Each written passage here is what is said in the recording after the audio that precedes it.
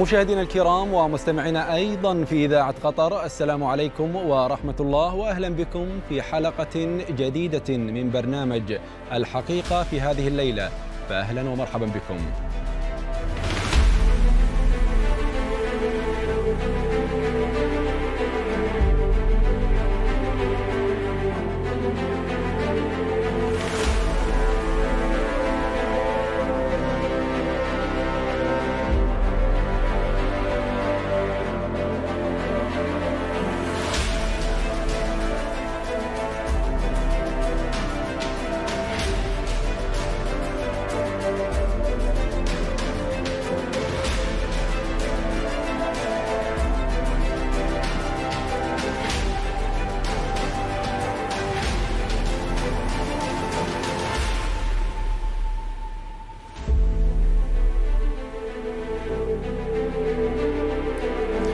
إذا تجاوزت الأزمة الخليجية على دولة قطر عاما كاملا فالأيام تمضي سريعا. في وقت تواصل فيه دول الحصار السياسة ذاتها وهي تسييس كل شيء لا يسيس. وتتجاهل السياسة الحقيقية التي تقوم على العقل والمنطق في حل الأزمات. فدولة قطر أعطت الفرصة للحلول الدبلوماسية وما زالت تؤكد على الحوار والوحدة الخليجية. أما قضية الحقوق فتلك مسألة يكفلها القانون. وملف انتهاكات دولة الإمارات لحقوق الإنسان خلال هذه الأزمة بأت يأخذ مساره أمام محكمة العدل الدولية بالإضافة إلى تسييس المشاعر المقدسة. وهذا طبعا ملف من ملفات أخرى سنناقشها في حلقتنا لهذه الليلة. لذا اسمحوا لي أن نرحب معنا بضيفينا في الاستديو الدكتور ربيع بن صباح الكواري وهو أستاذ الإعلام بجامعة قطر. دكتور سعداء يا مرحبا وسهلا. حياك الله خمسة. كذلك الترحيب مستمر إلى السيد جابر بن ناصر المري وهو مدير تحرير صحيفة العرب. أبو ناصر يا مرحبا سعداء بوجودك معنا. حياك الله محمد والمشاهدين الكرام. حياكم الله. لكن اسمحوا لي مشاهدينا قبل أن نبدأ نقاش الليلة. نتابع معكم هذا التقرير حيث أعلنت دولة قطر طبعا بتوجيهات من سمو الأمير المفدى حفظه الله أنها ستوفر عشرة آلاف فرصة عمل للشباب الأردني لمساعدته في تحقيق تطلعاته والإسهام أيضا في دعم اقتصاد وطنه. كما أعلنت عن حزمة استثمارات تستهدف مشروعات البنية التحتية والسياحة في الأردن الشقيق بقيمة 500 مليون دولار. إذا نتابع معا هذا التقرير ثم العودة لبداية الحوار. رسالة من حضرة صاحب السمو أمير البلاد المفدى إلى أخيه جلالة ملك المملكة الأردنية الهاشمية. نقلها سعادة نائب رئيس مجلس الوزراء وزير الخارجية تتصل بالعلاقات الثنائية وسبل دعمها وتطويرها. سعادته صرح أنه وبتوجيهات من حضرة صاحب السمو أمير البلاد المفدى فإن دولة قطر تعهدت بتوفير عشرة آلاف فرصة عمل لديها لشباب وشابات المملكة الأردنية الهاشمية فضلا عن استثمار 500 مليون دولار في مشاريع البنية التحتية والسياحة في الأردن. الأمر الذي من شأنه إنعاش الاقتصاد الأردني والمساهمة في تنميته بشكل مستدام. وتأتي هذه الخطوة بعد موجة احتجاجات على تردي الأوضاع الاقتصادية في هذا البلد الشقيق حيث سبق أن عبرت دولة قطر منذ اللحظات الأولى لتصاعد هذه الاحتجاجات عن دعمها للمملكة الأردنية الشقيقة كواجب أخلاقي ملزم لكل الدول العربية. الأردن دولة عربية مهمة دولة عربية تقع في منطقة فيها أزمات كثيرة وعانت الكثير من أزمات اللاجئين بسبب الحروب التي كانت في دولها المجاورة الأردن كنظام هو نظام مستقر وندعم استقراره بشكل دائم. جهود قطرية نابعة من مبدأ دبلوماسي. أساسه الدعوة لأي تكامل عربي يخدم مصالح الشعوب الشقيقة. ولطالما كان مجلس التعاون الخليجي حصنا مانعا لمثل هذه الهزات غير أن افتعال الأزمة الخليجية الأخيرة وفرض الحصار الجائر على دولة قطر أضر بمكانة هذا البيت الخليجي وبثوابت الاستقرار في المنطقة العربية. أولا شعوبنا خسرت. مجلس التع... خسرنا مجلس التعاون في الوطن العربي كان ككتلة موحدة. خسرت المنطقة أيضا بأنها خلقت أزمة جديدة ونحن في منطقة أزمات في الأصل. بعد مرور أزيد من عام على هذه الأزمة ورغم تجاوزها لكل العوائق التي وضعت أمامها تؤمن دولة قطر بأن طموحات الشعوب لن تتحقق إلا بإرادة صادقة في تجاوز الخلافات على أساس يحكمه العقل والاحترام والحوار وكل الثوابت الدبلوماسية البناءة.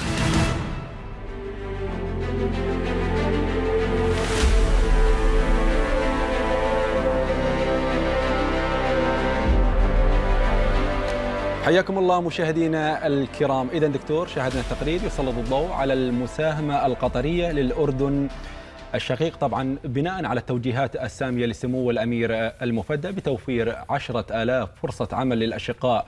هناك بالإضافة إلى 500 مليون دولار كدعم مباشر للأردن الشقيق. كيف تابعت هذا الخبر؟ وانعكاس طبعا هذا الخبر على الاقتصاد وعلى الحالة الاجتماعية في الأردن برأيك. آه، بسم الله الرحمن الرحيم. أشكرك أخ محمد حياك الله. الاخ جابر. طبعا يسعدنا أن نكون معنا هذه الحلقة المميزة إن شاء الله. إن شاء الله. شوف إذا رجعنا إلى التاريخ للوراء عندما تولى سمو الأمير الشيخ تميم مقاليد الحكم في قطر عام 2013 ألقى خطاب في تلك اللحظة. أكد فيها على كلمة مهمة وقال قطر كانت وما زالت كعبة المظلوم. واستلهم هذه الكلمة من إحدى قصائد أو قصيدة للمؤسس الشيخ جاسم بن محمد عليه رحمة الله. قطر كانت وما زالت نعم كعبة المظلوم. اليوم قطر تضرب المثال آه، العربي المخلص للقضايا آه، العربية والإسلامية. الأردن تمر بأزمة أزمة اقتصادية سياسية. هناك تكالب على الأردن من قبل بعض الدول هناك تآمر على هذه الدولة. آه، أنا أعتقد أن المساعدة التي قدمتها قطر اليوم نص مليار دولار وتوظيف ما يقارب من عشرة ألاف من الشباب. هي أيضا مساهمة من قطر بجانب مبادرة صلتك التي ترعاها سمو الشيخ موزة, موزة صاحبة السمو الشيخ موزة بن ناصر. صلتك أيضا تسهم بنفس العوامل في توظيف الشباب العربي. اليوم يمكن كنت أدردش مع الأخ جابر قبل الحلقة عن صدى هذه المبادرة أو هذا هذا الدعم آه، والمساندة الكبيرة من قطر للأردن الشقيق. آه، شبكات التواصل الاجتماعي ما زالت تشكر قطر الكل يصوت لقطر يشكرها على هذا الدعم. أنا أعتقد أن هذه المبادرة تأتي بعد آه، مؤتمر مكة الذي اجتمعت فيه هذه الدول من أجل حفظ ماء الوجه وتقديم بعض الدعم القليل للأردن وليس الدعم السخي الذي تعودنا عليه في مثل هذه الأزمات التي تمر بها الدول العربية. نعم. أه، سيد جابر كما استمعنا للدكتور ربيعة هو تشخيص عن أه، المساعدات القطرية المستمرة للأشقاء أينما كان أينما كانوا وهذه هي السياسة القطرية المتبعة سواء كنا في أزمة أو في وقت أه، رخاء. الآن هناك ظروف هناك تحديات هناك صعوبات تواجه الأردن الشقيق يتطلب طبعا منا الوقوف إلى جانب هذه الدولة في أزمته الاقتصادية الحالية ونقولها دائما بأن هذا واجب على دولة قطر وليس منا برأيك هذه الحزمة من المساعدات القطرية كتوفير على سبيل المثال عشرة ألاف فرصة عمل كيف ستسهم في تحسين الوضع الاجتماعي للأشقاء في الأردن هناك؟ وأيضا ينعكس على مسألة الاقتصاد في الأردن. في البداية أنا حاب أوجه لكم كل الشكر طول عمرك. أن أتيحت لي الفرصة يعني أن يعني أن أظهر مع أستاذي الدكتور ربيعة واللي أفخر مني. أنا تتلمذت على يده. في جامعة قطر وتتلمذ على يده العديد ممن آه بس ما زال ما زال ابو ناصر الشباب الدكتور ربيع حتى الآن. احدهم احدهم أحدهم نجلة. فنتمنى التوفيق للجميع وهذا فخر لي إني أنا أظهر مع أستاذي. أما من ناحية الاقتصاد ودعم الاقتصاد وهذه الخطوة أنا قرأتها حقيقة من تفاعل الناس في تواصل في التواصل الاجتماعي وأيضا بعد الأصداء التي كانت بعد اجتماع مكة. اجتماع مكة قدم مبلغ آه وديعة في البنك المركزي والمعلوم أن هذه هذا النوع من الدعم لا يصل مباشرة إلى إلى المواطن الأردني ولا يلبي احتياجات المواطن الأردني ناهيك عنها قد تستخدم كابتزاز مستقبلا في سحب هذه الودائع. وأنا لا أعتقد انها أن أننا سمعنا في الفترة الماضية أن هناك ضرر للعملة الأردنية كي يكون مثل هذا الإجراء، الأردن كانت تحتاج إلى وقفة صادقة، كانت تحتاج إلى دعم مباشر يصل إلى المواطن الذي آه الذي هو بحاجة لهذا الدعم. أنا حسبتها حسبة رياضية آه، يعني قلت مثلا يعني إذا عشرة ألاف وظيفة آه، وتحدثنا عن مثلا آه، خلينا نقول ال average إذا ما كان ال minimum 10000 ريال انت تتحدث عن 100 مليون ريال ستدخل إلى البيوت الأردنية بشكل شهري.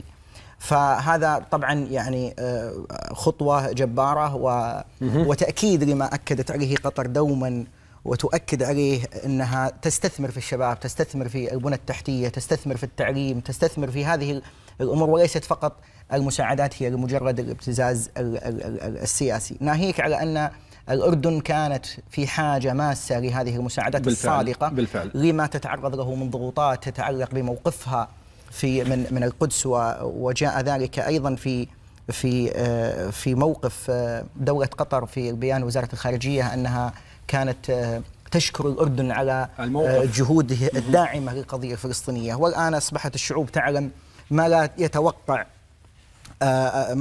ما لا تتوقع الأنظمة أنها تعلمه. يعني إحنا ندري الآن أن بعد الضغط اللي حصل وبعد بعض التسريبات اللي طلعت أن أن الأردن تواجه عدوان خماسي عليها من أجل الضغط عليها من أجل تمرير صفقة القرن. آه، ربما آه، حدث هذا النوع من الاجتماع الصوري الذي لم يقدم للمواطن الأردني آه، ما يستحق. فبوجهة نظري أنها كانت في حاجة إلى هذا هذا الدعم القطري نعم. الذي ونحمد الله نحمد الله. وهذه يعني بعد شفت ردود أفعال الشعب الأردني في وسائل التواصل الاجتماعي قلت أحمد الله أن مقولة صاحب السمو الشيخ تميم بن حمد ال ثاني أبشروا بالعز والخير إنها كفتنا.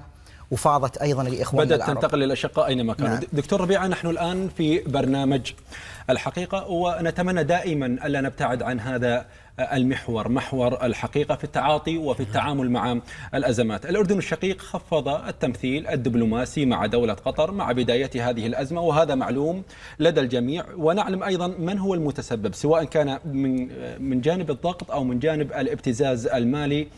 لذلك أقدم الأردن على هذه الخطوة. هنا السؤال كيف تقيم ما قامت به دولة قطر مع الأردن الشقيق رقم ما حدث في هذه الأزمة؟ أنا أعتقد قطر آه، قد تكون هي من الدول العربية الأولى الداعمة للسياسة في الأردن والداعمة أيضا للتنمية الاجتماعية والاقتصادية في الأردن. هناك مشاريع اقتصادية هناك اتفاقيات شراكة بين قطر والأردن وقعت في السابق. لكن النقطة المهمة اللي نذكرها في هذا المقام اللي هو التكالب على الأردن في هذا التوقيت بالذات. لا ننسى أن الأردن كانت وقفت ضد حصار قطر. آه، أيضا كانت تؤيد يعني جميع المبادرات التي تأتي لحل هذه لحل هذه الأزمة مثل ما تفضلت. وال أيضا قضية أن الأردن فيها شريحة كبيرة من الإخوان المسلمين، الأردن لم تصفي الإخوان المسلمين أو لم تتعرض لهم بحكم أنها جزء من الشعب الأردني. كذلك الأردن لم تدعم جيش التحالف في اليمن أو الحرب على اليمن. ولذلك اعتقد انه كان موقفه موقف محايد وقطر تؤيد هذه الدولة الشقيقة بحكم إنها صديقة وتسير في موقف حيادي في هذا التوقيت. دعنا دعنا دعنا نتحدث سيد جابر مباشرة عن الوضع الاقتصادي بما أننا تحدثنا عن الوضع الاقتصادي في الأردن والذي نتمنى صراحة في هذا الشهر الكريم أن يخرج الأردن الشقيق من هذه الأزمة وهو معافى تحت قيادته الهاشمية. نتحدث عن الوضع الاقتصادي في دولة قطر. طبعا آه، لا نتحدث من برنامج الحقيقة أو من الصحف وأنت آه، مدير تحرير إحدى الصحف القطرية. نتحدث من تقارير دولية معنية بالاقتصاد تابعة للأمم المتحدة كبنك آه، البنك الدولي. تحدث عن أن نمو الاقتصاد القطري هو الأعلى خليجيا هو الأعلى عربيا ب 2.6% ماذا يعني ذلك اقتصاديا؟ وأنت مدير تحرير صحيفة ماذا يعني ذلك انعكاسا على الوضع التجاري والاقتصادي في دولة قطر؟ ونحن الآن في أزمة. أنا بختصرها لك إلى أحد المحررين الاقتصاديين السعوديين في بداية الأزمة أول أسبوع من الأزمة قبل أن يعني تكتم أنفاسهم. آه قال هذه الإجراءات ستحول قطر إلى يابان أخرى. فبفضل بفضل الله سبحانه وتعالى الاقتصاد آه، جاءت رياح جاءت رياح الحصار بما لا تشتهي دول الحصار. فكان هذه فكانت هذه النتائج التي يعني آه، كانت بشهادة آه، العديد من المؤسسات الاقتصادية العالمية الموثوق فيها. أنا برأيي إنه حتى دول الحصار يعلمون أننا تجاوزنا هذه المشكلة الاقتصادية. ولماذا التكابر برأيك؟ تجاوزنا هذه المشكلة الاقتصادية بل وانعكست عليهم. وأنا برأيي أن اللي قاعد يصير الحين حتى يعني لو ربطنا الأحداث بما يحصل في الحديدة الآن. يعني الحين بعد بعد انخفاض غير معهود في آه، واردات جبل علي أصبح أمام الإمارات ليس أمامها إلا أن تسيطر على الحديدة على ميناء الحديدة وهو ثاني أكبر ميناء وتدخله فوق 70% من الموارد اليمنية. فأصبح يعني كل ما كل ما آه، تعرضوا إلى صفعة توجهوا إلى جريمة أخرى لكي يداووا أنفسهم من الصفعة التي قبلها. فأنا برأيي الحمد لله إحنا تجاوزنا هذا الأمر إلى ما هو أبعد. يعني إحنا نقول يمكن في بداية أول سنة يعني كان هناك جهود حثيثة للحكومه فأنا برأيي الحمد لله إحنا تجاوزنا هذا الأمر إلى ما هو أبعد. يعني إحنا نقول يمكن في بداية أول سنة يعني كان هناك جهود حثيثة للحكومة لمحاولة أن تفادي آه، ما حدث. ما حدث من من الضرر. وشوف ولاحظنا والجميع لاحظ بأن في أول سنة بفضل الله سبحانه وتعالى أصبحنا في غنى عن منتجات دول الحصار ومن بعدها بأسبوع أصبحنا في غنى حتى عن أدوية دول الحصار. فأنا أعتقد أن إحنا انتقلنا إلى مرحلة أخرى مرحلة ثانية التي للأسف الشديد حتى هذه المرحلة سنحارب ولكن سننتصر بإذن الله في المرحلة الثانية وهي آه، آه، أن تحاول دول الحصار أن تعوض هذه الخسائر الاقتصادية إلى مكاسب سياسية وهذا ما لم يحدث بإذن الله. في هذه النقطة دكتور كما تحدث السيد جابر وحديث عن تجاوز دولة قطر وتكابر البعض إعلاميا في دول الحصار عن عدم ذكر ما تم ذكره مع بداية هذه الأزمة. ستنتهي آه، آه، سينتهي الاقتصاد القطري. سيقسم ظهر آه، الجانب التجاري في دولة قطر إلى آخره. الآن بعد هذه التصنيفات الدولية والحديث عن ما وصل إليه الاقتصاد القطري بفضل حنكة والسياسة المتبعة والأوامر والتوجيهات السديدة من سمو الأمير وتعاطي الحكومة الموقرة مع ذلك. اليوم عندما نستذكر هذه الأزمة يجب ألا نغفل عن موضوع هام جدا.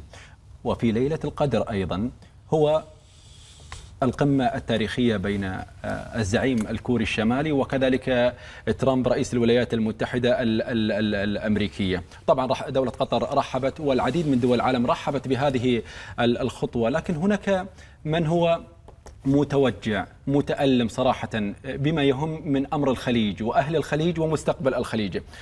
هناك حلت بين الأعداء أعداء الأمس وهم لا يمتون لا لصلة بين روابط تاريخية أو ثوابت قديمة بين تلك الدول.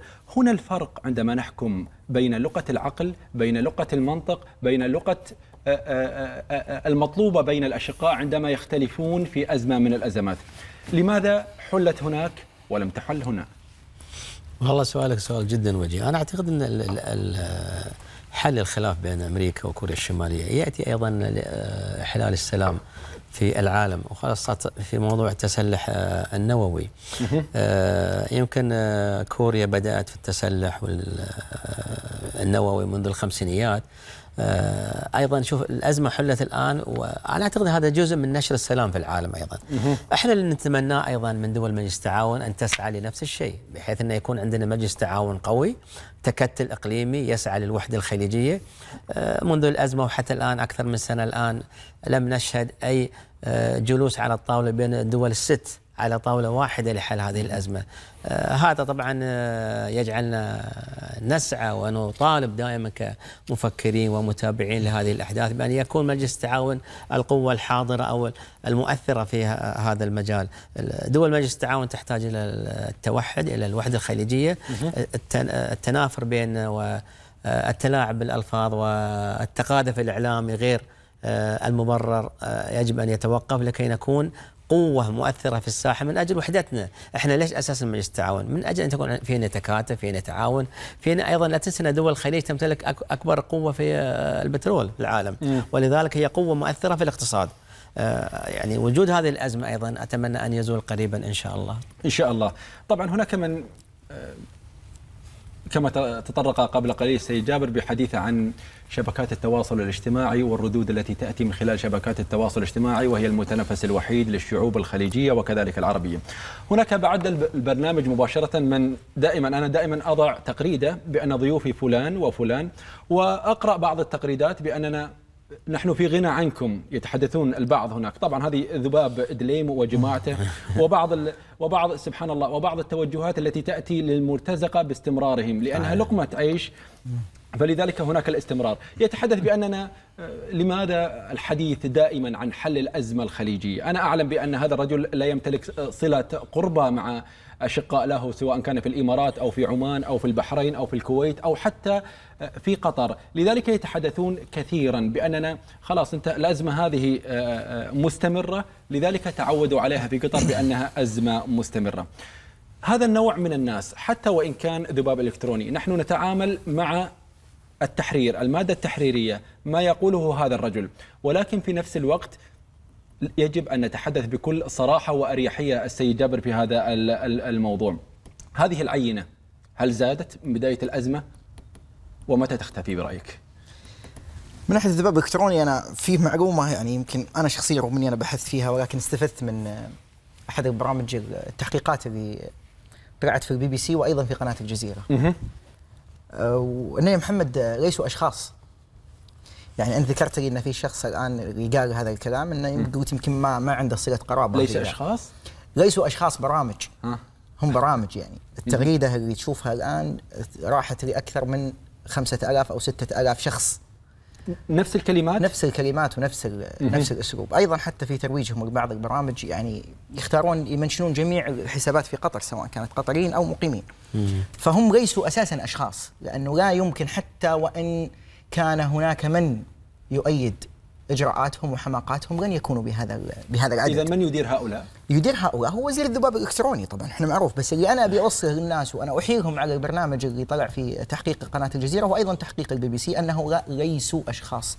ليسوا human يعني مش ليسوا بشر. بشر. هم هي برامج والبرامج هذه هي هي من من من تحرك هذا الذباب الإلكتروني. من ناحية آه، آه، من ناحية الأزمات وإنت تحدثت أخوي محمد عن الأزمات وإنها حلت وإنها تحل بالطرق السياسية. محمد أي أحد يعرف ألف باء السياسة يعرف إن جميع دول العالم بينها اختلافات سياسية. سواء كانت يعني لأنه المصالح تتغير والسياسات تتغير. ولكن جميع جميع المشاكل تحل بالطرق الدبلوماسية. يعني عندما يعني يقود هذه الدول أناس آه، لهم باع في الدبلوماسية ولهم باع في السياسة تحل بالسياسة ولا تحل بالبلطجة ولا تحل بمحاولات الكذب ولا تحل آه، بمحاولات الكذب ليس علينا الكذب على شعوبهم. يعني هم الآن آه، لم يصدقهم أحد. وأنا أعطيك مثال بسيط. تفضل. الحين صار لكم سنة نرجع للاقتصاد. صار لكم سنة وأنتم تقولون قطر تسقط واقتصاد قطر ينهار. لو كان العالم العربي يصدقكم أو صدقكم في هذه السنة لما نشوف ولا ما رأينا فرحة إخواننا الأردنيين ب ب ب ب 10000 وظيفة وإنهم بيجون بيساعدونا وبيكونون شركاء وبنكون ممنون لهم بيكونون شركاء ممنونين لهم وبيكونون شركاء لنا في نهضة الوطن. فرحة الشعب الأردني اليوم تؤكد بأن كل ما آه، أقدموا عليه دول الحصار وإعلام دول الحصار من محاوله الكذب بأن الاقتصاد انهار هذه معناتها لم يصدقهم أحد. يعني هذا مؤشر بأنه بعد عام كامل هناك فرحة بأن هناك آه، شعوب عربية تريد أن تعمل في قطر. لو كانوا يشكون أنها قطر سقطت أو أن قطر آه، آه، اقتصادها لا ينمو لما فرحوا بهذه بهذه الفرصة. نعم. هذه هذه من ناحية. في نقطة أخرى أخوي محمد تفضل. أن أن آه، آه، ذكرت أن بعض الناس يقول لك ليش آه، في آخر نقطة أنت ذكرتها أن ليش أنتم تستمرون في في هذا في, في هذا في هذا النمط. في هذا النمط وأنتم نعم. تقولون نحن بأي خير بدونهم. أنا م. احيل جميع المشاهدين وأخص بالذكر المواطنين القطريين. في كلمة قالها سمو الأمير في خطابه في مجلس الشورى. والكلمة هذه إحنا يعني أخذناها والتقطناها في جميع حتى في سياراتنا. ألا وهي نحن بألف خير بدونهم. أنا احيل كل المشاهدين إن يشوفون الفقرة ما بعد نحن بألف خير بدونهم صاحب السمو قال ويا ريتني كنت جبت معي الفلاشة وطلبت المخرج يذكرها. قال صاحب السمو في الخطاب نحن لا نخشى مقاطعة هذه الدول فنحن بألف خير بدونهم ولكن ما يجري وهذا ما أريد أن أنوه ولكن ما يجري ليس مقاطعة وإنما هذه حرب اقتصادية. نحارب اقتصاديا. ما زلنا نحارب اقتصاديا يوميا. أنا كصحفي أطلع على جميع صحفهم اليومية. أكثر من 365 يوم لم يمر يوم واحد إلا ما صحفهم تتحدث عن قطر من مقالات ومن كاريكاتيرات ومن كذب ومن أخبار. وإذا خلصت الأخبار وشافوا ما صار في خبر قالوا لسعود القحطاني غرد علشان بكرة الصحف كلها تاخذ تغريدتك لأنها خلصت الأخبار خلاص. خلصت المواد. فهم مطالبين بإنهم يوميا يستمر الهجوم. فلو كانت الموضوع مقاطعة بس فرقاهم عيد. ليش أقول لك فرقاهم عيد؟ وحاليا تحديدا. لأن من صالح أي دولة ألا ترتبط سياسيا بمن يتخبطه الشيطان من المس وهذا فالجماعة يتخبطهم الشيطان من المس فمن صالحنا أن لا نرتبط بهم سياسيا. ولكن هناك حرب مستمرة. فبما أن الحرب مستمرة ما أقدر أجيك أنا يا أخوي محمد وأنت إعلامي وأقول لك نزل القلم وأنت ما زلت تحارب. وما زلت تحارب اعلاميا. واضاف اضاف إلى ذلك اخ محمد ممكن نضيف اللي قضيه ملف كأس العالم. وهذا اللي أسألك فيه قبل ما ننتقل الملف الموجع يعني يعني نعم. هذا الملف هو هدفه من ضرب الاقتصاد القطري أخ جابر. ومن ثم تنهار هذه الدولة وفشلوا في هذا بفضل هذا الشيء. وتعالى. على طاري كأس العالم آه، وقبل الحديث إلى التقرير المقبل نود الحديث عن ما حدث اليوم من التصويت لكأس العالم 2026 وكانت المنافسة ما بين الولايات المتحدة الأمريكية والمملكة المغربية الشقيقة. وقفت بعض الدول العربية إلى جانب آه، آه، الولايات المتحدة نعم. الأمريكية. ووقفت أيضا بعض الدول العربية بما فيها الجزائر ودولة قطر وتونس إلى جانب المملكة المغربية. أين العروبة بمن يتشدق بالعروبة؟ أين, أين الوقوف إلى جانب الأشقاء في مثل هذه المواقف برأيك؟ نفس السيناريو اليوم يحدث ما حدث في سيناريو اليونسكو في الانتخابات. عندما وقفت بعض الدول العربية مع المرشحة الفرنسية ضد المرشح قطر. يعني المؤامرات العربية العربية مع كل أسف يعني هي مستمرة من أجل النيل من بعض الدول. يعني خلينا نكون صريحين الأردن قد عفوا المملكة المغربية المغربية وقفت مع قطر في هذه الأزمة وقد تكون متحفظ على بعض آراء دول الحصار ولذلك تجد أن دول الحصار أو خلينا نأخذ المملكة بشكل خاص يعني وقفت ضد ملف الأردن منذ البداية عندما أعلنت المغرب أنها ستقف ستقدم هذا الملف. طبعا هذا التآمر هو يأتي مؤامرة مستمرة على دولة عربية من قبل للأسف دول عربية كان يفترض أن تقف مع الدول الشقيقة. لكن الحقيقة الولايات المتحدة كما تعلم دولة كبرى وهي مساندة للمملكة العربية السعودية. وعندما نتحدث عن الملاءات السياسية ستكون حاضرة في هذا المقام.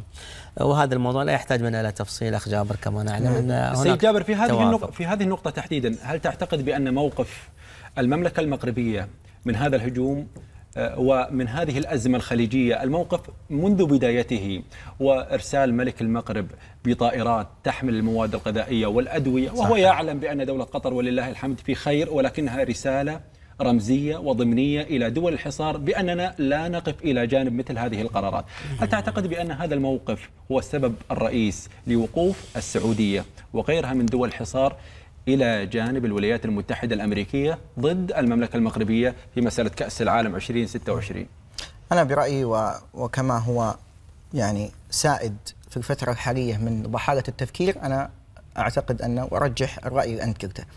لكن في بعض الدول يعني من ضمن اللي لم يصوتوا للمملكة المغربية في بعض يعني كل دولة لها ظروفها. ولكن أن تصوت لمجموعة الثلاث أو برنامج المشترك لكندا والمكسيك وأمريكا. شيء وأن تروج وتتبجح بأنك لن تصوت للمغرب وستصوت لأمريكا. هذا شيء آخر. علني. يعني هناك دول أنا صراحة كنت سعيد بأنه دول المغرب العربي الثلاث كلهم وخصوصا صوتوا. الجزائر صوتوا للمغرب وهذا أمر يعني يعني يعرف الشأن المغاربي يكون سعيد جدا بهذا الأمر بأن كل دول المغرب العربي صوتت مع المغرب وهذا جميل. والحمد لله إن كنا إحنا من ضمنهم. آه، مسألة التبجح في بداية في بداية بداية ما أعلنت المغرب وأن وأيضا كان هناك تتحدث أخبار على أن السعودية لم تكتفي فقط بالتصويت الولايات المتحده الأمريكية نكاية في المغرب بل دعت أيضا دول أخرى وابتزت دول أخرى لكي تصوت للولايات المتحدة الأمريكية. فنظام مثل النظام السعودي لا يقارن ببعض الدول التي قد تكون لها ظروفها في تصويتها ضد المغرب في هذا الملف. إحنا مستمرين طبعا في آه، آه، هذه الحلقة لكن ننتقل معكم دكتور ربيعه وكذلك السيد جابر وأيضا مع المشاهدين إلى هذا التقرير حيث بدأت دولة قطر في اتخاذ الإجراءات القانونية ضد دولة الإمارات العربية المتحدة أمام محكمة العدل الدولية وهي الجهاز القضائي الرئيسي للأمم المتحدة والمعروفة أيضا باسم المحكمة العالمية، السبب طبعا في ذلك هي الانتهاكات المستمرة لحقوق الإنسان بحق مواطني دولة قطر، نتابع معا هذا التقرير ثم العودة للحوار. ميدان آخر تتحرك فيه دولة قطر لمواجهة الحصار الجائر الذي مضى عليه أكثر من عام. القضاء الدولي سيكون الفاصل بعد أن تبخرت على ما يبدو احتمالات التسوية السياسية حتى هذه اللحظة وهو ما دفع قطر لمقاضاة الإمارات أمام محكمة العدل الدولية بعد أن وثقت آلاف الشكاوي لانتهاكات مختلفة على مدار عام مضى من الحصار. قامت دولة قطر اليوم بالتقدم بأوراقها إلى محكمة العدل آه، الدولية التابعة للأمم المتحدة وذلك بموجب اتفاقية آه، القضاء على التمييز العنصري وكلا الدولتين دولة قطر والإمارات العربية المتحدة آه، وقعتا على هذه الاتفاقية. وبموجب هذا التوقيع فإن كلا الدولتين خضعتان للإجراءات القضائية لهذه المحكمة. الشكوى القطرية تشير إلى دور الإمارات بقيادة إجراءات تعسفية تجاه القطريين حيث أغلقت أبو ظبي مجالها الجوي وموانئها أمام قطر ووثقت كذلك حالات تمييز عنصري ضد الأفراد. تمثلت في 1297 حالة انتهاك الحق في التنقل و93 حالة انتهاك الحق في الإقامة و110 حالات انتهاك الحق في العمل و165 حالة انتهاك الحق في ممارسة الشعائر الدينية و37 حالة انتهاك الحق في الصحة و646 حالة انتهاك الحق في لم شمل الأسرة و1234 حالة انتهاك الحق في الملكية و513 حالة انتهاك الحق في التعليم. الحقيقة أن دولة قطر بدأت هذه الإجراءات مبكرا ومنذ اليوم الأول قالت دولة قطر بأنها لن تألو جهدا في المحافظة على حقوق مواطنيها. آه، والإجراءات القانونية ماضية منذ منذ ذلك الوقت لكن كانت تلك الفترة الماضية هي فترة آه، تجميع المعلومات وتجميع الوثائق. وتطالب الدعوة القطرية بأن تأمر المحكمة دولة الإمارات باتخاذ جميع الخطوات اللازمة للامتثال لالتزاماتها بموجب اتفاقية القضاء على جميع أشكال التمييز العنصري وتقديم تعويض كامل للمتضررين. الانتهاكات التي وثقتها اللجنة الوطنية لحقوق الإنسان قامت بها السعودية والإمارات والبحرين ومصر لكن التقدم بالدعوة ضد الإمارات وحدها يعود إلى توقيع كل من قطر والإمارات على المادة 22 من اتفاقية القضاء على التمييز العنصري وتنص على اختصاص محكمة العدل الدولية في البت في هذه النزاعات. آه، دولة الإمارات العربية المتحدة آه، وافقت على البند 22 آه، من هذه الاتفاقية. وعليه يمكن إقامة هذه الدعوة القضائية ضدها في حين أن السعودية المملكة العربية السعودية والبحرين لم توافقا على هذه المادة.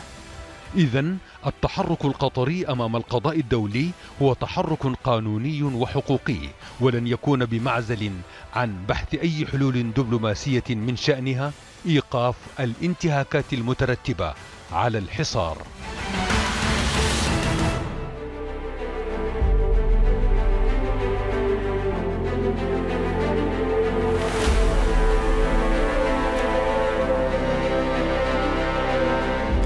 حياكم الله مشاهدينا الكرام من جديد اذا دكتور تابعنا هذا التقرير يتحدث عن الإجراءات القانونية التي اتخذتها دولة قطر ضد دولة الإمارات العربية المتحدة أمام محكمة العدل الدولية بسبب الانتهاكات المستمرة لحقوق الإنسان وتحديدا ضد المواطنين القطريين. متابعتك لهذه الشكوى وماذا يمكن أن نرى بعد هذه الشكوى برأيك؟ طبعا قطر تقدمت إلى محكمة العدل الدولية لأهداف وكما تنص عليها قانونيا. ولذلك المتابعة القانونية والملاحقة القانونية لدولة الإمارات في هذا الصدد هو يأتي من باب إعادة الحقوق للقطريين الذين همشت حقوقهم في هذه الأزمة من خلال التمييز العنصري من خلال آه، مصادرة عقاراتهم في دولة الإمارات على سبيل المثال حقوق القطريين الطلبة القطريين في مجال التعليم آه، الأسر القطرية التي تضررت وكذلك رجال الأعمال اقتصاديا تضرروا في نفس المجال. أنا أعتقد أن هذا القرار إن شاء الله الذي سيصدر قريبا سيكون يعني درسا لدولة الإمارات. يقدم أيضا دروس لدول أخرى لكي لا تعمل نفس الشيء مع دولة قطر في المستقبل. أه، سيد جابر كما استمعنا للدكتور ربيعة وحديثه عن أه، هذه الشكوى. الآن وتحديدا في هذه النقطة. مسألة تأخر هذا الملف. الآن نحن آه، بعد عام كامل من بداية هذه الأزمة ودولة قطر تقدمت بشكوى قبل يومين من الآن حتى الآن. برأيك ما هي الأسباب التي دفعت دولة قطر إلى هذا التأخر؟ هل تعتقد بأن هناك آه، احتمالا بأن الأزمة الخليجية ستحل وإعطاء فرصة للجانب وساطة الكويتية في ذلك. إدخال الجانب الدبلوماسي والسياسي من أجل حل هذه الأزمة لماذا التأخير برأيك بعد عام كامل؟ هو مثل ما يعني ذكرت سعادة لولو الخاطر المتحدث الرسمي. باسم الخارجية هناك نوعين أو شقين من التعويضات. هناك تعويضات تتعلق بالدولة وهناك تعويضات تتعلق بالأشخاص لا تملك الدولة أن تتنازل عن هذه التعويضات. مسألة التأخير ومن مرور عام أيضا ذكرته سعادة المتحدثة بأن كان هذا العام هو عام آه، آه، كانت تستوفى فيه تجميع المعلومات وجمع المعلومات والانتهاكات والتواصل مباشرة مع آه، اللجنة الوطنية لحقوق الإنسان. وأنا في هذه المناسبة أقدم كل الشكر للجنة الوطنية لحقوق الإنسان على جاهزيتها منذ اليوم الأول. وأنا يعني قلتها يعني قلتها مباشرة لسعادة الرئيس بأنه قد تكون دول الحصار آه، ما حسبت حسابها على جاهزيتكم من اليوم الأول.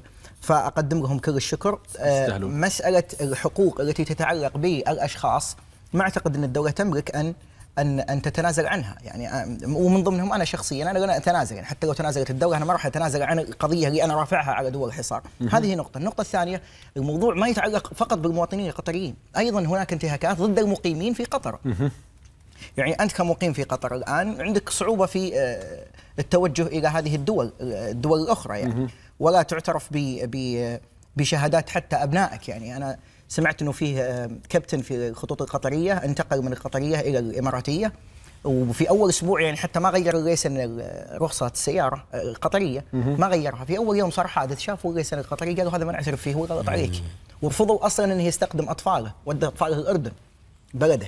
يعني شوف كيف التعامل. هذا هذا يعتبر انتهاك لحقوق الإنسان. هناك أمور آه، لا تتعلق فقط بالمواطن القطري وأملاك المواطن القطري أيضا آه، ما يتعلق بحقوق المقيمين في دولة قطر. دكتور آه، مضمون هذه الشكوى كما استمعنا هي ليست كما تحدث السيد جابر هي ليست فقط على المواطنين القطريين وإنما هناك أيضا شكاوى ضد المقيمين في دولة قطر عندما يأتي المعاملة في دولة الإمارات العربية المتحدة.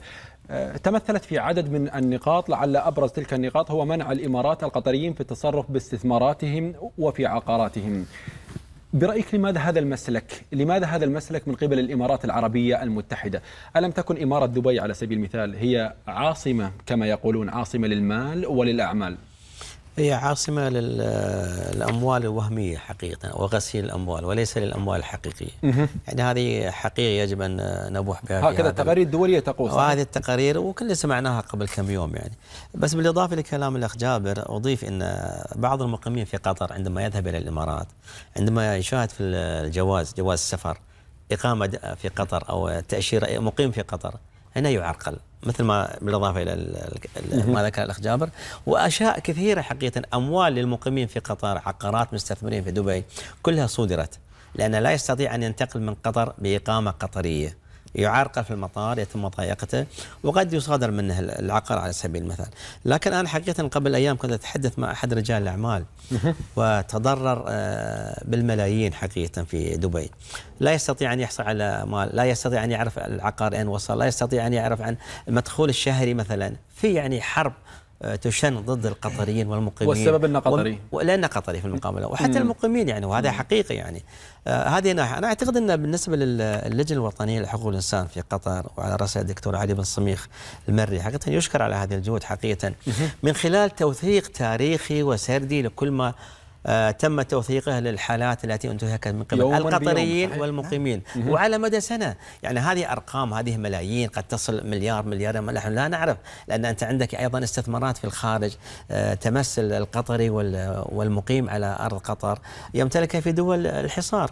وحتى في السعودية أيضا هناك أيضا انتهاكات للقطريين في مجال العقار أيضا.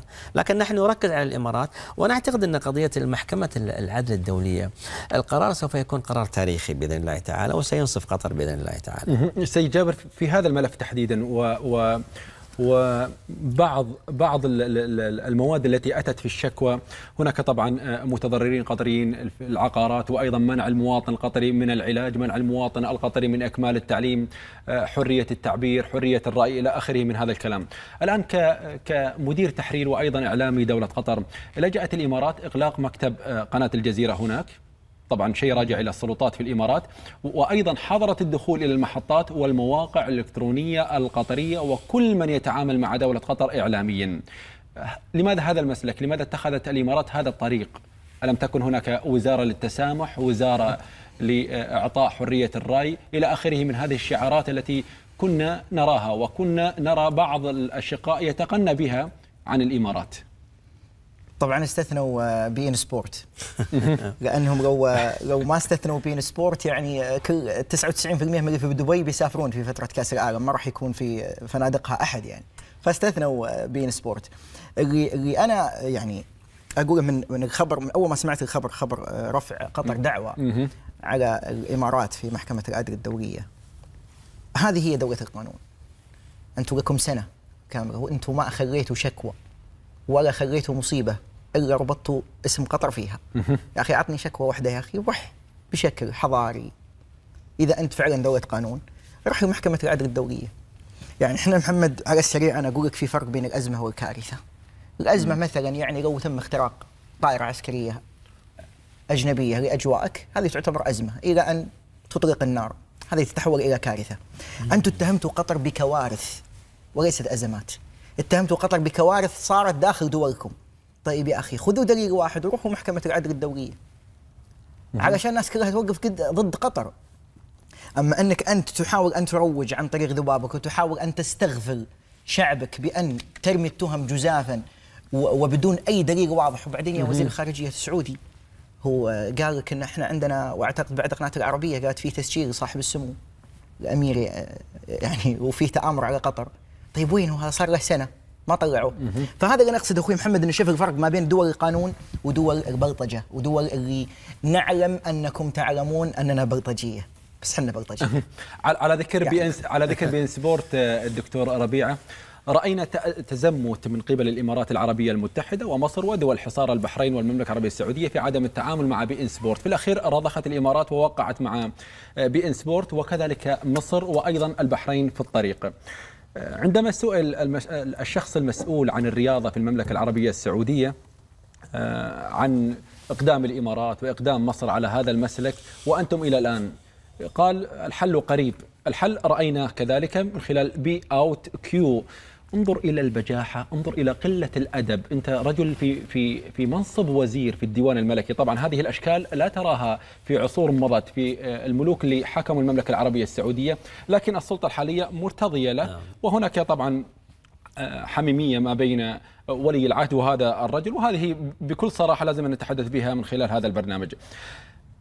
الآن موجود هذه القناة واستمرار الحكومة في إعطاء الضوء الأخضر لها. لماذا لا تحترم القانون الدولي؟ الآن وجود الحرمين الشريفين يحتم على الأقل. صحيح. هذه الدولة أن تحترم المسلمين أينما كانوا. صرق عيني عينك. تعليقكم دكتور.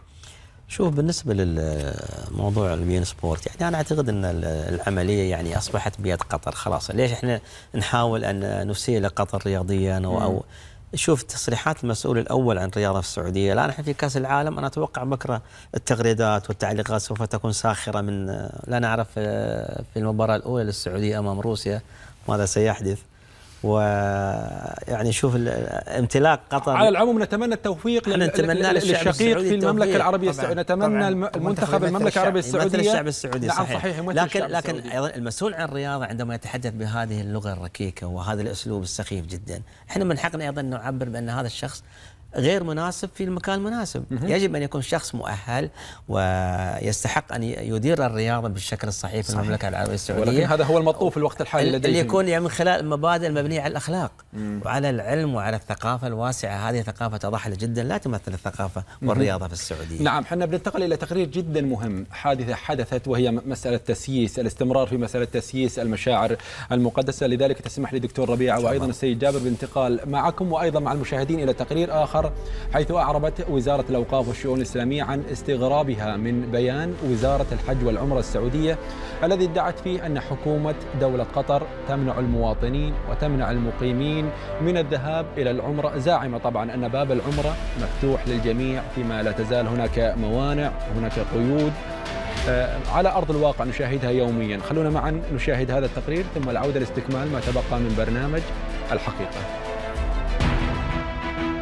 ينقضي رمضان للعام الثاني على التوالي وحجاج ومعتمرو قطر من المواطنين والمقيمين لا سبيل لهم للوصول إلى المشاعر المقدسة لأداء العمرة أسوة بملايين المسلمين. إجراءات المنع ما تزال مستمرة بإغلاق معبر سلوى من قبل السلطات في الرياض وهو المنفذ البري الوحيد لقطر على السعودية. وكذا الأمر مع حركة الطائرات القطرية الممنوعة من دخول الأجواء السعودية وصولا إلى مطار جدة. السفارة أو القنصلية السعودية لا تعمل في قطر لإصدار التأشيرات واستكمال الإجراءات مع حملات الحج والعمرة كما أن البوابة الإلكترونية لتسجيل الحجاج والمعتمرين مؤصدة أمام القطريين. السلطات السعودية تسهل وصول آه، القادم من قطر أو حتى القطري إلى مطار الملك عبد العزيز بجدة أو حتى إلى مطار الأمير محمد بن عبد العزيز هناك بالمدينة المنورة. وفيما تزعم السعودية بفتح أبوابها أمام الزوار من قطر وهو ما نفته وزارة الأوقاف والشؤون الإسلامية معبرة عن استغرابها الشديد من صدور بيان عن وزارة الحج والعمرة في السعودية بشأن حقوق المواطنين والمقيمين في قطر في ممارسة الشعائر الإسلامية في الحرمين. ونفت وزارة الأوقاف في بيانها الادعاء بعدم تمكين دولة قطر المواطنين والمقيمين فيها من الحج والعمرة. مؤكدة استمرار العراقيل والإجراءات التعسفية التي تفرضها المملكة على قاطني دولة قطر جملة ودون غيرهم من مسلمي العالم. الوزارة دعت الجهات المعنية في السعودية للنأي بالشعائر الدينية بعيدا عن التجاذبات السياسية لا سيما في هذه الأيام المباركة. ليبقى التسييس سيد الموقف على الشعائر الدينية مرتهنا بالتجاذبات السياسية. حاله حال الدراما الرمضانية التي طوعت كأداة لخدمة المقاصد السياسية. لقد نفذ صبري على ما تفعله يا قطري. وإني أرى أن دفع بلائك عن أرض المسلمين أعظم من صداقتنا وجوارنا. المهلب بن أبي صفرة واحد من الأعمال الممولة إماراتيا ظهرت فيه بصورة واضحة أجندة صناعه لتبرير الحصار الجائر على قطر. وكذلك عمل مسلسل العاصوف ليظهر الصورة التي تطمح إليها السلطات السعودية عن ماضيها ومستقبلها من انفتاح وتمرد على الواقع المحافظ الذي ظل السعوديون يدافعون عنه لسنوات. في عام حصار قطر الثاني تبدو دول الحصار عاجزة عن إقناع العالم وشعوبها تحديدا بمبررات فعلتها فتلجأ إلى أي سبيل متاح حتى وإن كان الكذب والافتراء لتشويه الحقائق ودس رسائل مبطنة هي أبعد ما تكون عن الواقع.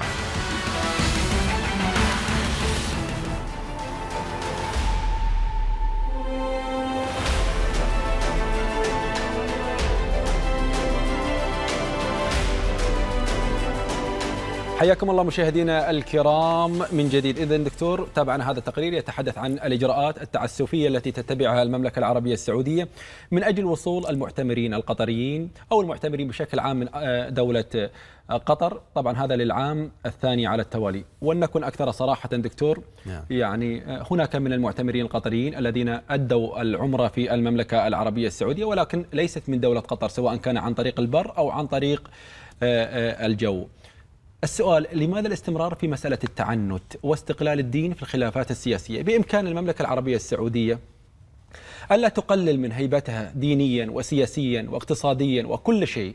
فتح الحدود فقط في آه، مواسم الحج والعمرة وبعد ذلك بإمكان الحدود أن تغلق إلى ما لا نهاية لا ضير في ذلك. ولكن ذهاب القطري من هنا إلى سلطنة عمان ثم الانتظار في الترانزيت ثم الانتقال من عمان إلى مطار الملك عبد العزيز أو الانتقال إلى الكويت كويت نعم. لماذا هذه الخريطة الطويلة في مسألة الذهاب إلى العمرة؟ وطبعا تأسيس الحج والعمرة آه، قضية يعني أصبحت شائكة في المملكة العربية السعودية بسبب طبعا التعنت في سياسته ومحاربة القطريين والمقيمين في قطر من الذهاب إلى الديار المقدسة. الذهاب إلى الديار المقدسة حق مشروع لكل مسلم يذهب إلى مكة والمدينة.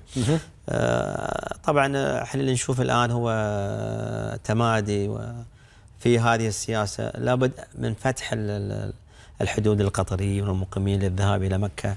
وأنا أعتقد إن مرور أكثر من سنة الآن يدل دلالة واضحة أن السعودية غير متجاوبة وستظل غير متجاوبة.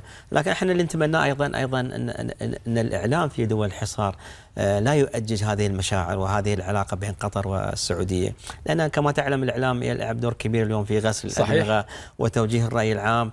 وحتى أيضا يحرض الشعب السعودي على الشعب القطري رغم أن الشعبين على قلب واحد في مثل هذه الأزمات. المصيبة سيد جابر إذا حضرت المقارنة. إذا حضرت المقارنة ما بين آه، المواطن الإيراني والمواطن القطري هم يقولون بأن المواطن القطري في قلب فلان وفي عين فلان وفي مخ فلان.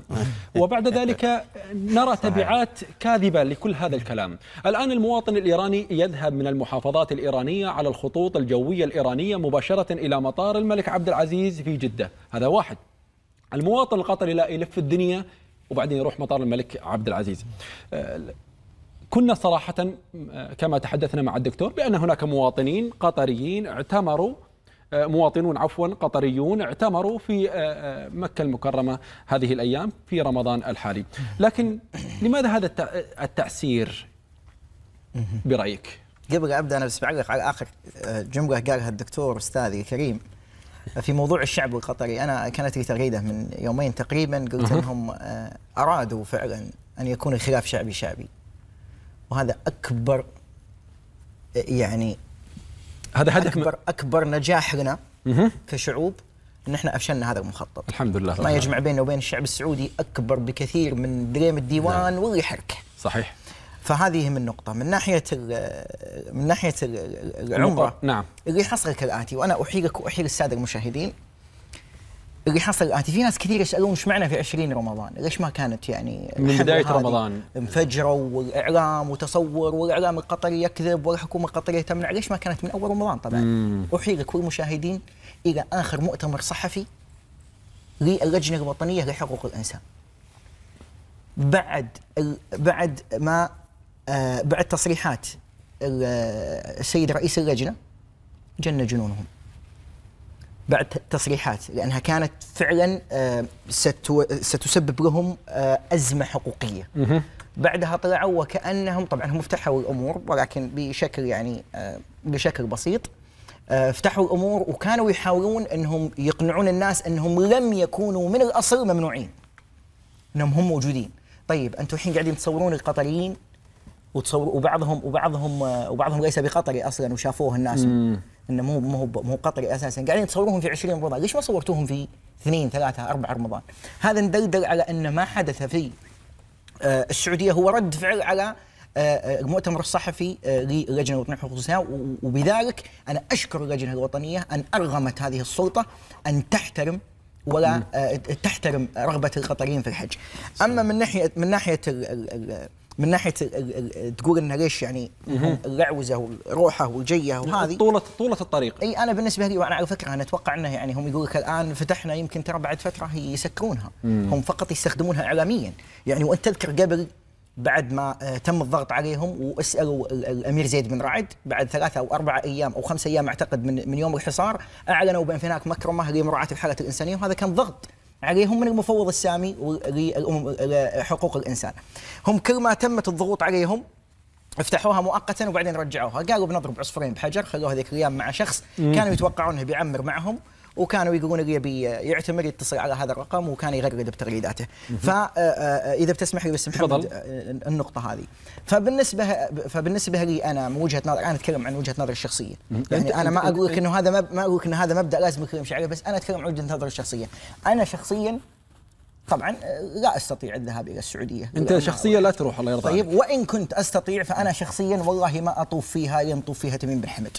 من الآخر هذه وجهة نظري الشخصية فمسألة أن يعني محمد بسالك سؤال إحنا نقدر نروح القدس مستحيل لا ليش مستحيل؟ مم. تقدر تروح عن طريق الأردن أو حتى عن طريق إسرائيل مم. بس ليش ما تروح القدس؟ مم. لأن القدس الآن مغتصبة مغتصبة من دولة عدو صح ولا لا؟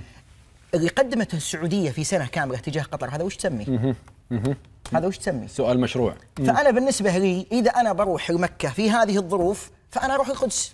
اولى لاني ما بعد زرتها هذه وجهة نظري مو بشرط ان أقول لك إنها وجهة نظري صحيحة بس هذه أنا نظرتي لهم.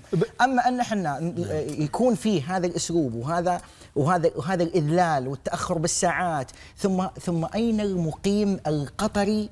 أين حق المقيم القطري من الذهاب إلى إلى مكة؟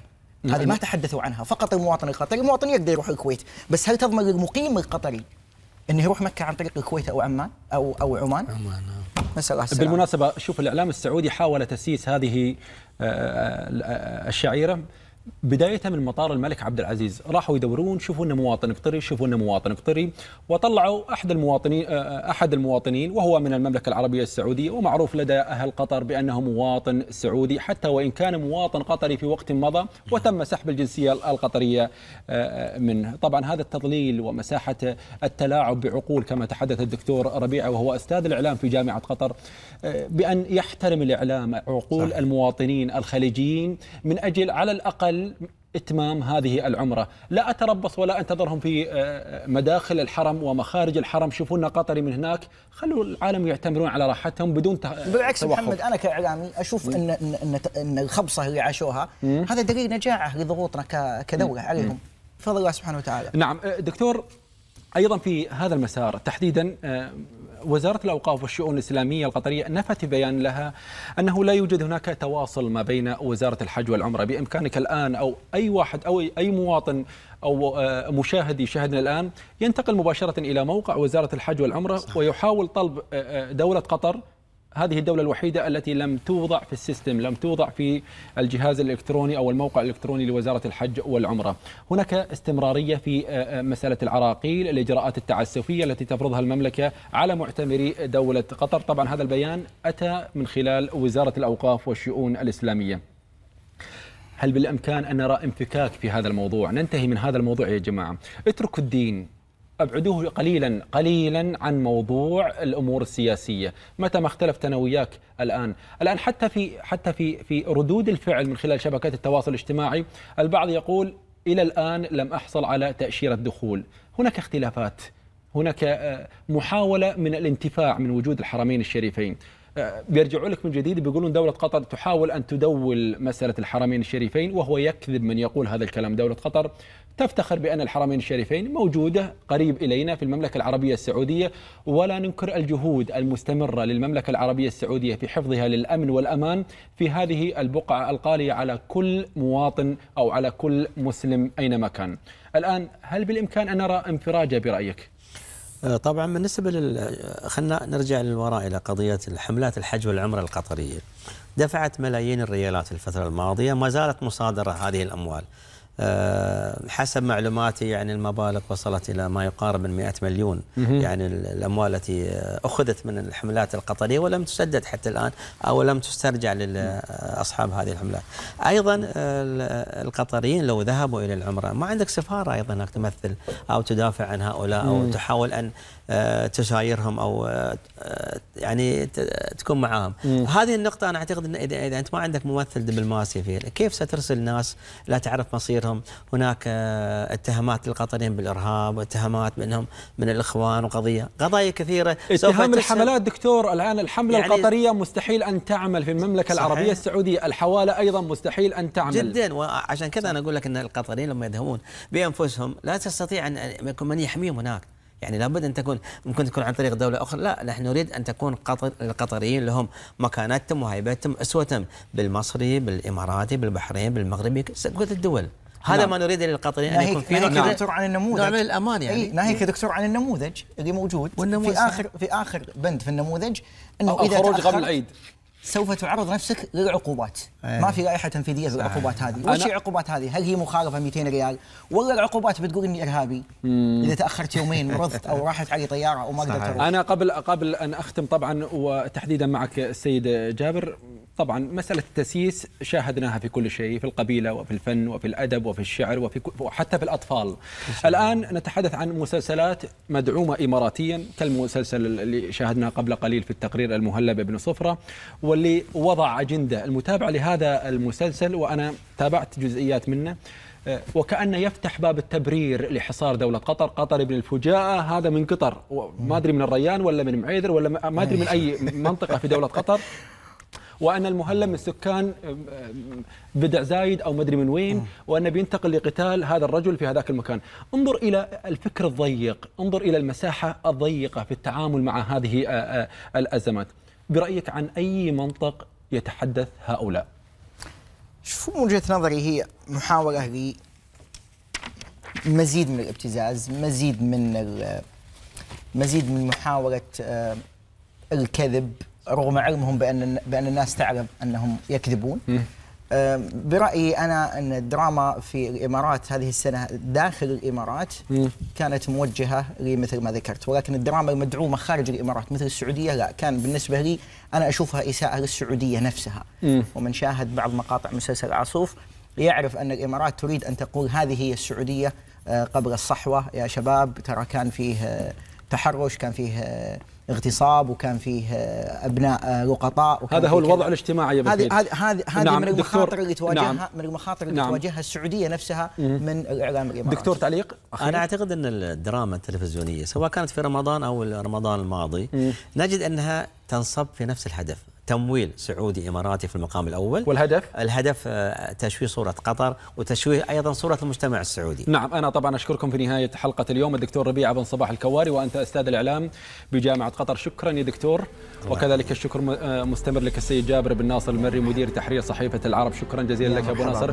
ونتمنى أن نلتقي مستقبلا بإذن الله وكل عام وأنتم بألف خير. وأيضا السادة المشاهدين والشكر أيضا موصول لكم مشاهدينا الكرام ومستمعينا أيضا في إذاعة قطر على كرم المتابعة.